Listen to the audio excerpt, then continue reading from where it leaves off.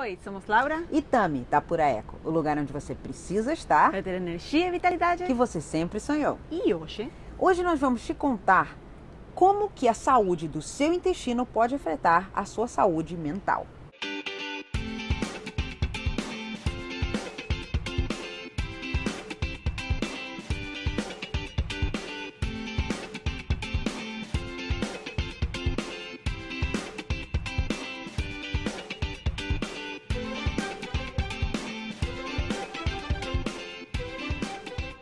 No último vídeo a gente te contou como que as bactérias boas ou os probióticos ou a nossa microbiota nos protegem das doenças, além de facilitar o nosso emagrecimento, manter a gente saudável, desintoxicado e energizado.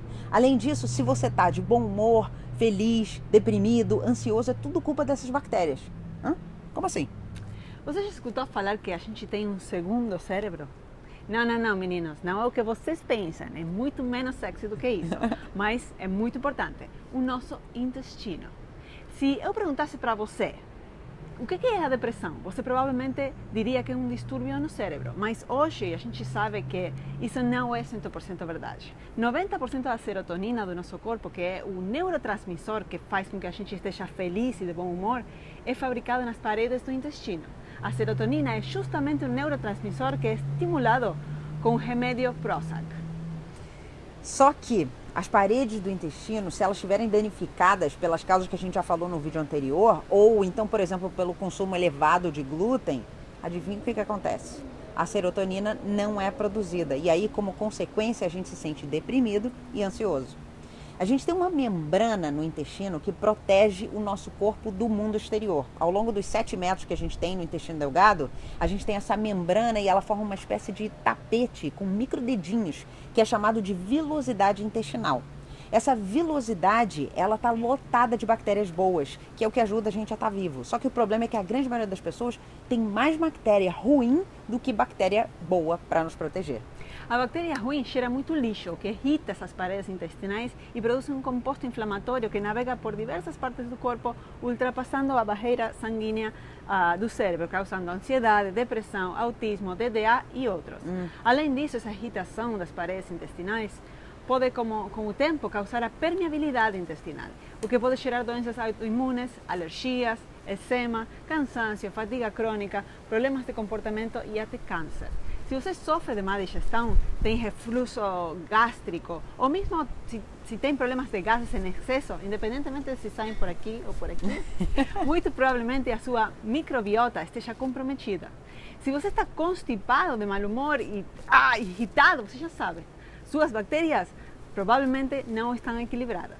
Mas o mais interessante é que, se o vento me ajudar, não necessariamente você tem que apresentar é, problemas no intestino na sua digestão. Às vezes o problema estoura em outro lado, mas ele é ocasionado no intestino. Uhum. Esses compostos inflamatórios que navegam pelo corpo, como a Laura falou, eles podem se depositar em outros órgãos, como por exemplo nas articulações. E aí uhum. isso, no final das contas, afeta a sua mente da mesma forma.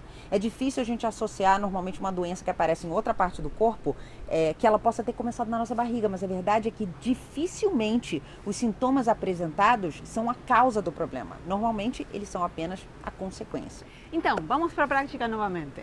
O que você precisa fazer para aumentar o número dessas bactérias boas no intestino e minimizar o número das bactérias más ou ruins? Antes do que nada, o mais importante é eliminar aquilo que está causando inflamação no seu corpo e fazendo você ter mais bactérias ruins do que boas, o que também é chamado de disbiose. Ah, e para isso é importante, muito importante, eliminar açúcares, farinhas refinadas, glúten, laticínios, álcool, cafeína em excesso, alimentos processados, frituras e gorduras ah, processadas em, em excesso e também você deve dormir mais. Além de eliminar é. essas coisas é, que a Laura falou, é também importante acrescentar algumas coisas, como ela falou, dormir mais. Isso a gente já falou sobre. Algumas coisas a gente já falou sobre isso no vídeo anterior, como por exemplo, vou repetir, os alimentos fermentados, como chucrute, kimchi, que é parecido com chucrute, só que feito com mais vegetais. Uhum. É, o miso orgânico, o tempê, ou tempê orgânico, kefir de água, de água de coco, a kombucha, todos esses são ótimas fontes de probiótico.